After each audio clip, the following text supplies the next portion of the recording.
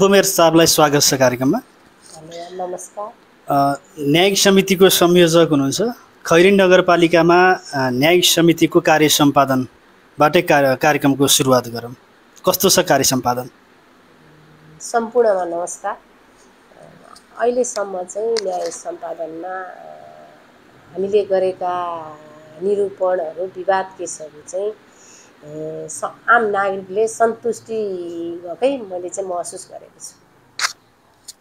के छन्? कस्ता कस्ता त्यस्ता मुद्दाहरू विवादहरू खैरेनीमा छन् अहिले? अहिलेसम्म चाहिँ हाम्रो पालिकामा आएका मुद्दाहरू चाहिँ बढी चाहिँ लेनदेनको छ। त्यसपछि जग्गाको खिचलो अनि सात सिमाना श्रीमान श्रीमती बिचको विवाद त्यसपछि वातावरण प्रदूषण यस्तै यस्तै केसहरू चाहिँ बढी आउँछ।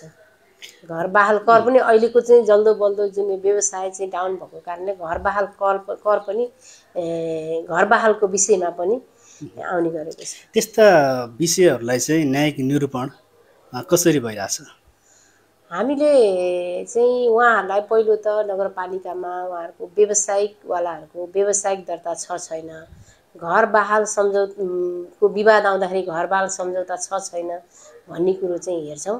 अनि त्यसपछि उहाँहरूलाई चाहिँ ओडाबाट उहाँहरूले एउटा निवेदन दिन जुन पीडित पक्षहरू आउनुहुन्छ नगरपालिकामा हामीले हाम्रो क्षेत्राधिकारभित्रको केस छ भने हामीले दर्ता गर्न लगाउँछौँ। छैन भनेदेखि चाहिँ उहाँहरूलाई यो हाम्रो क्षेत्राधिकारभन्दा बाहिरको हो भनेर भन्छौँ।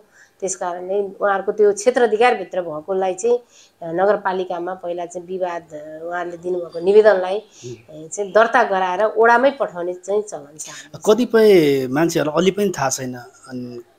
स्थानीय तहले अथवा स्थानीय तहमा भएको न्यायिक समितिले यो काम गर्नुपर्छ भन्ने कुरो। उनीहरू त्यो नबुझिकन त्यस्ता व्यक्तिहरू पनि आएका उदाहरण छन् कि छैनन्? सबै न नगरपालिकाले नै हेर्नुपर्छ भन्ने त्यस्ता केही छन् र? त्यो पनि अब सबैजनालाई त न्यायपालिका नगरपालिकामा छ भन्ने ज्ञान छैन। तर ओल्लो घर पल्लोहरूको जुन आफ्नो पीडा पोख्दा पोख्दैखेरि चाहिँ यस्तो केस चाहिँ नगरपालिकामा यसरी हेर्नुहुन्छ भन्ने जानकारी पाएर आएर चाहिँ कतिले चाहिँ हामीसँग सल्लाह लिएर पनि विवाद केस चाहिँ दर्ता लिए गरेर त्यसपछि चाहिँ निरूपणमा गएको केसहरू चाहिँ सुरुमा के गर्नुपर्छ? न्यायिक समितिमा आउनुभन्दा अगाडि मेलमिलाप केन्द्र पनि छ। स्थानीयले विवाद निरूपण गर्दै जानको लागि सुरुमा के गर्नुपर्छ? हामीले उहाँहरूले दर्ता विवादलाई दर्ता गराउनुहुन्छ। दर्ता गराएपछि उहाँहरूसँगै हामीले ओडा मेलमिलाप केन्द्रमा चाहिँ त्यो केस पठाउँछौँ। उहाँहरूले त्यो केस निरूपण गर्न बस्दाखेरि मेलमिलाप गराउन बस्ने व्यक्ति चाहिँ जुन मेलमिलापकर्ता सूचीकृत गरेका मेलमिलापकर्ता चाहिँ उहाँहरूले छान्न पाउने अधिकार छ। उहाँहरूले छानेर अनि त्यो केसलाई चाहिँ मेलमिलापको प्रक्रियामा जान्छ। कम्तीमा वडा स्तरीय तिन पटकसम्म उहाँहरू बसेर मेलमिलाप गराउने प्रयास गर्नुहुन्छ।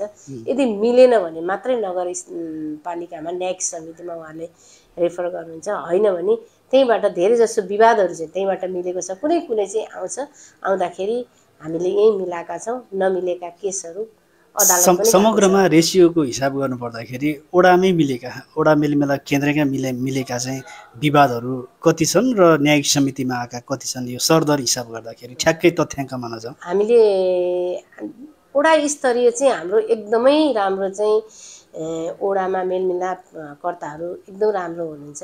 उहाँहरूले धेरै जसो केसहरू चाहिँ उहीँ नै मिलाउनुहुन्छ। पालिकामा त जम्मा हामीले बिस पच्चिसवटा मिला होला हामीले चाहिँ एक सय नौवटा जति केसहरू चाहिँ मिलाएका छौँ। त्यसमा चाहिँ पचहत्तर अस्सीवटा जति चाहिँ ओडा स्तरीय मिलेको छ। बाँकी चाहिँ नगरपालिकाले नै मिलाएको छ। भनेपछि न्यायिक समितिले नै भने- मिलाएको भनेपछि न्यायिक समितिलाई नै अलिकति चाप घट्या हो अहिले मेलमिलाप केन्द्रले गर्दाखेरि। हो एकदमै मेलमिलाप अँ, सूचीकृत भएका मेलमिलापकर्ताहरू चाहिँ एकदमै अनुभवी पुराना शिक्षक वकिल पनि हुनुहुन्छ हाम्रा कोही कोही त। एउटा अवकाश लिएर बसेका आर्मीहरू उहाँहरू चाहिँ मेलमिलापकर्ता हुनुहुन्छ।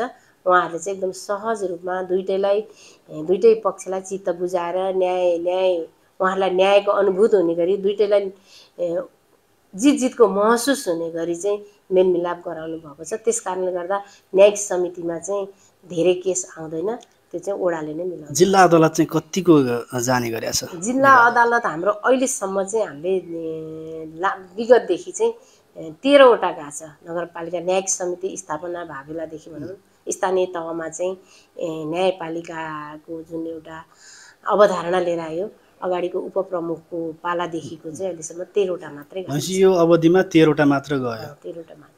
यो तथ्याङ्कलाई कसरी बुझ्ने? यो तेह्रवटा केसलाई चाहिँ? तेह्रवटा केस चाहिँ धेरै जसो सम्बन्ध विच्छेदकै छ। हामीले सम्बन्ध विच्छेद गराउने हाम्रो क्षेत्राधिकारभित्र पर्दैन।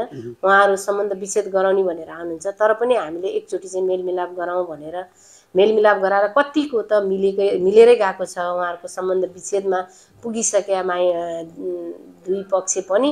आ एक आपसमा चाहिँ हार्दिकताको साथ मिलेर अहिले घरजम गरेर बस्नु भएको छ। कुनै कुनै केस चाहिँ यहाँ मिलाउन नसकेको चाहिँ अब अदालतमा गएर सम्बन्ध विच्छेद भएको छ।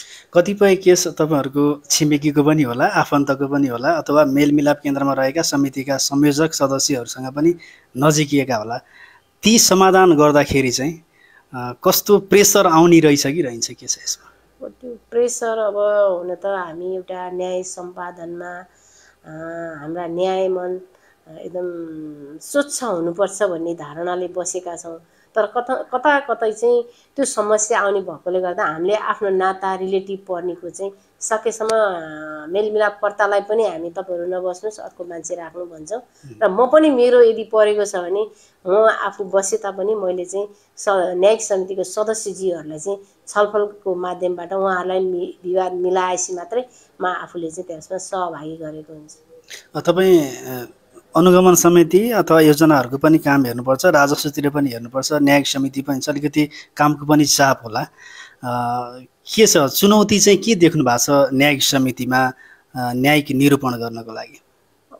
चुनौती अब हामीलाई अब न्याय सम्पादन गर्ने अब न्यायिक समिति छ यो न्यायिक समितिले गरेन हामी अन्यायमा परेका छौँ भनेर कतिपय केसहरू आउँछ। तर हाम्रो क्षेत्राधिकारभित्र हुँदा हुँदै पनि हामीले चाहिँ एउटा उनीहरूलाई कार्यान्वयन गर्ने विषयमा प्रक्रियामा चाहिँ चुनौती देखेको छ। अब कतिपय केस फो उहाँहरूलाई अब निवेदन दिनुहुन्छ दोस्रो पक्ष हामीसँग कन्ट्याक्टमा हुँदैन उहाँहरूलाई प्रहरी लगाएर ल्याउने अधिकार पनि हामीलाई छैन। थुनाउने अधिकार पनि छैन। त्यस कारणले गर्दाखेरि चाहिँ कति अब फोन सम्पर्कविहीन हुन्छ। अब त उहाँहरूले नै कतिले तेरो अधिकार कहाँ हो यो म जहाँ जे गर्छु गर्छु तपाईँलाई के मतलब भन्ने खालको धम्की दिएको हुन्छ। त्यो विषयमा चाहिँ हामीहरूलाई चाहिँ काम गर्न गाह्रो भएको छ। अब न्यायिक समितिले गर्ने भन्दा भन्दै पनि त्यो चिजलाई चाहिँ हामीले लिन सकेको छ त्यो भोग्नु भएको छ यहाँहरूले? छ त्यो एकदम प्रेसर त आइहाल्छ। न्यायिक समितिलाई अझ प्रभावकारी बनाउन न्याय निरूपणलाई अझ प्रभावकारी बनाउन तपाईँले भोग्नुभएका ती समस्या र अब यो गर्दा चाहिँ अझ सहज हुन्छ है भन्ने चाहिँ के छ तपाईँमा? अझ प्रभावकारी बनाउनलाई चाहिँ टोल टोलमा चाहिँ जनचेतना फैलाउने चाहिँ कानुन सम्बन्धी महिला हिंसा सम्बन्धी यस्ता जनचेतना कार्यक्रमहरू सञ्चालन गर्ने र सबैजनाले चाहिँ कानुनका कुराहरू सामान्य आधारभूत कानुनका कुराहरू ज्ञान भयो भने थोरै सानो झगडा पनि हामीले चाहिँ हाम्रो चाहिँ यो मेलमिलाप गर्ने एउटा स्थान भयो न्याय न्यायिकपालिका चाहिँ मेलमिलाप गर्ने एउटा स्थान भएको कारणले गर्दा धेरै वृहत रूप नलिँदै सानो मसिनो झिनो केसमा मात्रै झिनो केस हुँदैखेरि चाहिँ उहाँहरू मेलमिलाप प्रक्रियामा आउनुभयो भने त्यसलाई चाहिँ समुदायमै मिला चाहिँ मिलेर बस्न सक्ने एउटा वातावरण सिर्जना हुन्छ अदालत पुग्नु पर्दैन त्यस कारणले गर्दा त्यसलाई त्यो मिलाउनको लागि चाहिँ सबैजनालाई चाहिँ कानुनी चेतनको आधारभूत कानुनको ज्ञान र एउटा हामी समाजमा रहेर चाहिँ सामाजिक हाम्रो पनि उत्तरदायी छ हामीले समाजमा केही गर्नुपर्छ यो झै झगडा भन्ने चिज चाहिँ यो सोच परिवर्तन सोचमा हुने कुरा हो जुन हामीले सोच परिवर्तन गर्नलाई सकारात्मक कर्मको गर्नुपर्छ भन्ने खालको जनचेतना समुदायमा फौलाउन सक्यौँ र हाम्रा समाजका सामाजिक व्यक्तित्वहरूले ती चिजलाई चाहिँ अलिकति सहजीकरण गर्नुभयो भने चाहिँ न्यायिक निरूपण गर्न अझ सजिलो हुन्छ जस्तो चितवनमा सातवटा पालिका छ सातवटा न्यायिक समिति छ।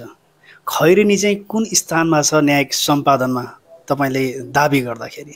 मैले चाहिँ दाबी गर्दा खैरेनी नगरपालिका चाहिँ न्यायिक निरूपणमा चाहिँ न्यायिक सम्पादन गर्नेमा चाहिँ नम्बर एकमै पर्छ जस्तो लाग्छ। मैले आफूले गरेको काम कर्तव्य आफ्नो जिम्मेवारी वहन गरे अनुसार चाहिँ। र अहिलेसम्म डाटा पनि एक नम्बरमै छ। हस् धन्यवाद। हस् धन्यवाद नमस्कार।